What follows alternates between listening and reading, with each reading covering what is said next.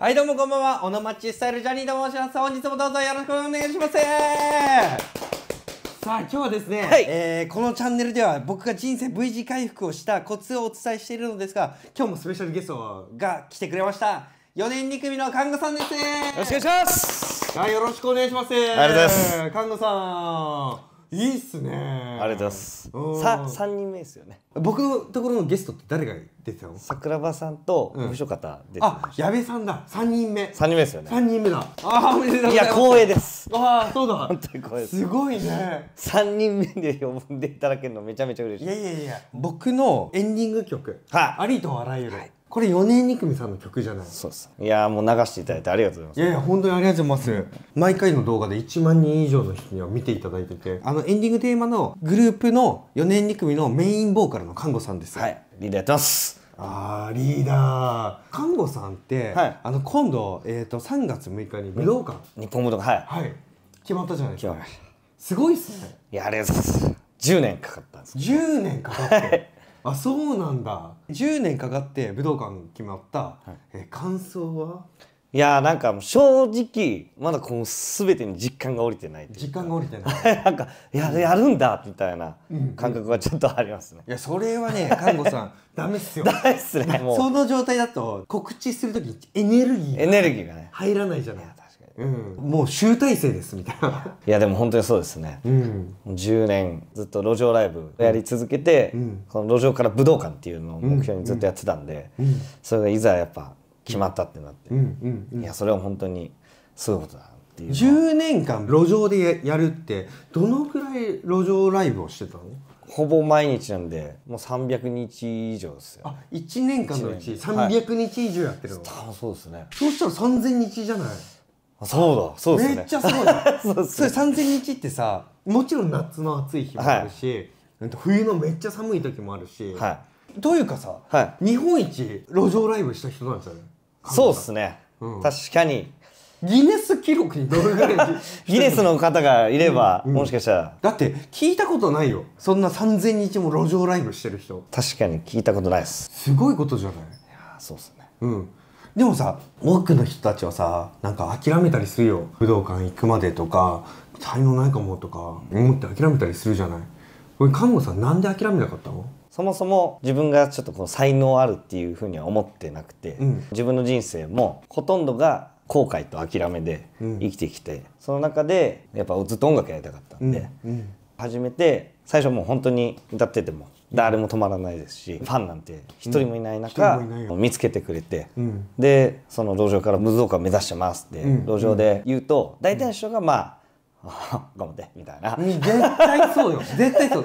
でもそれが普通よね、はい。普通よね。そう、ん。であのでもその中でも本気でやっぱ応援してくれる人だったり、今いる仲間、スタッフもそうなんですけど、そういう人たちと出会えたっていうのが、ん。めちゃくちゃ僕の人生の中でん。結構大きくて、うん。昔話になっちゃううんんですけど、もともと学生時代とかもちろん友達とかいたんですけど、まあ、いじめられた経験もあって、うん。うん。で友達に裏切られていじめられたみたいな。感覚だったんで人嫌いだったんですよ、うんめちゃめちゃ嫌いで信じれなくて、だから俺ら親友だよなとか友達だよなっていう感じがめちゃめちゃ嫌いだったんですよ、うんどうせ裏切るじゃんっていう感覚で引きこもりもなっちゃったし、こ これで言っていいか分かんないですけどもう世の中全部終わっちゃえばいいのにみたうんいな、うんわかるわかる。ある。あるよね そうその中で、まあ言ってしまえば僕が勝手に一人でこの音楽やりたいで、うん。その賛同してくれた人がいて、うん。で路上ライブを始めて、ん。で夢っ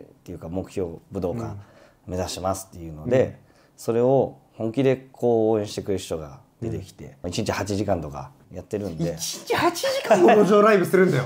やばくない？それ3000日？すごくない？これやっぱり日本一路上ライブした人だよ、そうですね。うん暑い日とか寒い日とかでも、やっぱずっといてくれるんですよ、うん。ああのそうなんだ。応援してくれてるんだ。応援してくれる人がいて初めて人間の温かみというか、あこんな人いるんだっていう印象に残ってるファンとかいる？そうですね。中には熱出して 帰らなきゃいけないじゃないですか、うん。でも最後まで見届けたいからっていう人がいたりだったりとか、うん。うん。あとは僕はその路上ライブただやるじゃなくて、ちゃんと目標掲げてやってたんですよちっちゃな目標っていうか。どういうタイプの僕あの僕はこの CD を出して、この期間のうちに CD を何枚売り切るっていう目標のもと、あのやってたんですよ。90日で最初1,000枚 CD を売るっていう、その目標に向けて応援してくれる人もいて、90日経った時にその達成した時に一緒に泣いて喜んでくれる人とか、えファンで？はい、めっちゃやばいね。だからそそうなんですよ。それがなんかめちゃめちゃ嬉しくて、その、他人の夢になんか自分ごとのように喜んだり、もちろんダメだった日もあるし、そういう一緒に悔しがってくれるっていう、ファンなんだけど仲間っていう意識があって、でそういう人がやっぱ一人でもいるっていうのが、あの僕の続ける原動力というか、いやあんだけ涙流してくれたのにあっちいからやめるとかできないよねっていう。ああそうか、はい。暑いからやめる。寒いからやめる。冗談ではいいんですけどね。冷めかろかみたいなのが全然いいですけど、コロナになった時とかも、あの相方辞めちゃった時とかも、頭にはよぎるんですよ。やめた方がいいのかなとか、もうその時も67年やってまだ武道館建ててないっていうのがあったけどやっぱそんな状況でも応援してくれる人がいたし、支えてくれるスタッフ周りにもいて、やっぱそういう人たちに何も返せてないっていうか、それがやっぱ自分の中では本当にこれでやめるのは何のためにやってきたのかなっていうのがあってそれで一人でも続けよう。うん。で続けていく中で今はその9人メンバーになってで武道館をやっと掴んだ。であとはそこをやっぱりやるからに満員にしてみんなになんか一緒にあの武道館を応援しててよかったなっていう感覚は絶対味わってほしいなっていう思いではやってます。うんそうだね、武道館満員にしてるイメージある？頭の中では。うん。もちろん。はい。そしたらさあのー、3月6日満員ですと。一番その時に感謝したいのは誰？一人だけ。プロデューサーの立石健二さんですね。立石さん。はい。立石さんのエピソードで、はい。一番こういうところに感謝してるとかそういうのってあったりする？グッとくる思い出というか忘れられないこと。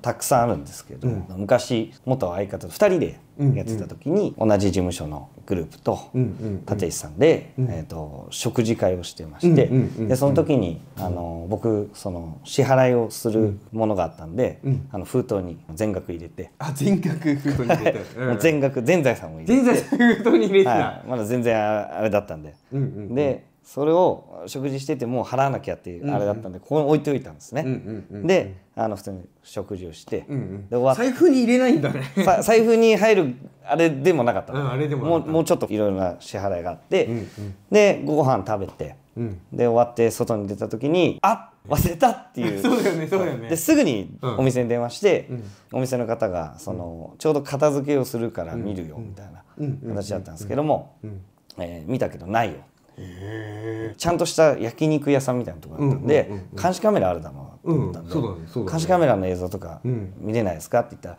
うち監視カメラないってえ言われて、そうなんだ、、はい。やちょっと怪しいんだけど。いや多分あの、まあ、バイトなのか分かんないですけど、うんうんうん。えーが多分あそうなんだ、看護さんの全財産を全財産を。行かれたんだ。行かれまし行かれたんだ。マジで。これ悔しいね。たいや本当に絶望でした。めっちゃ嫌だね。でその日ライブだったんですけど。ライブだね。あの、まあ、ライブ でも MC でも言っちゃいましょう。うん。あの全財産持ってかれましたみたいな。めちゃくちゃいいじゃん。その事実はいたメンバーにも話したんですけど、次の日ぐらいに立石さんから一本メールが来まして、ん。本当はこういうことって言っちゃいけないし関係性的にも。周りに絶対言わないで、うん。でも俺とお前の関係だから俺を振り込んだから。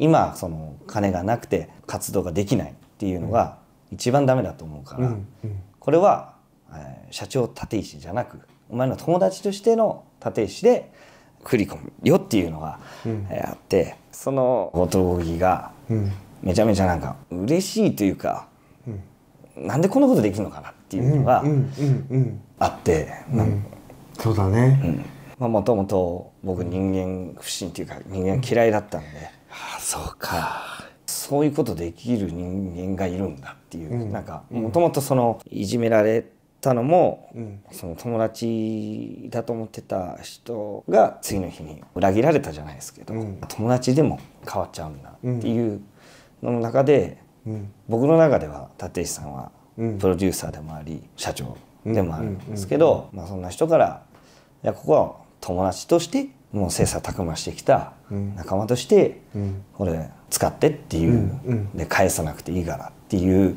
めっちゃかっこいいやん立石さん。いやめちゃめちゃかっこいいんですこれ何年ぐらい前の話？もう6年ぐらい前です。ああこれい言ってもいい時効ですね。時効です。か時効ですね。あとはうん。僕親に感謝とか、うん人に感謝を言うのが、まあ、今も多分あの言いづらいっていうか言えない人間だったんですけど、うん。なんか人に感謝を伝えるっていうことがめちゃめちゃ大事っていうのを教えてもらった人ですね。うん。立石さんって看護さんにとってはもちろん最高の社長であり、はい。プロデューサーである。と同時に最高の友人であり逆に言うと兄ちゃんでもあり、そうですね。うん、父でもある、はうん、僕と大悟と似てるい。いねやその動画拝見させてもらった時に、うんうん。すごく似てるなってうん。思って、ジャニーさんが坂村さんをみんなに広めたいんだっていう、うん。最後に言ってたじゃないですか。うん。あれがなんかすごく感動しちゃって、なんか僕はその歌詞が僕は好きでうん。立石さんのうん。自分を大事にしない人とか、うん。まあ、多いじゃないですか。かそういうのを歌詞に込めてるんでそれを広めたいです。そのためにやっぱ売れなきゃうん人には伝わんないんで。うん。看護さん最高よ。一緒だね。いやそうなんですよね。うん。